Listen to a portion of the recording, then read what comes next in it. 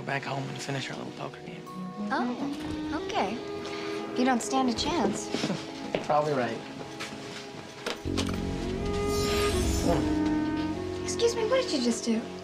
Well, you were such a good poker player. I figured that might be as close to a win as I get tonight. Well, you should let me know when you're gonna do that. I'll put on my good lingerie.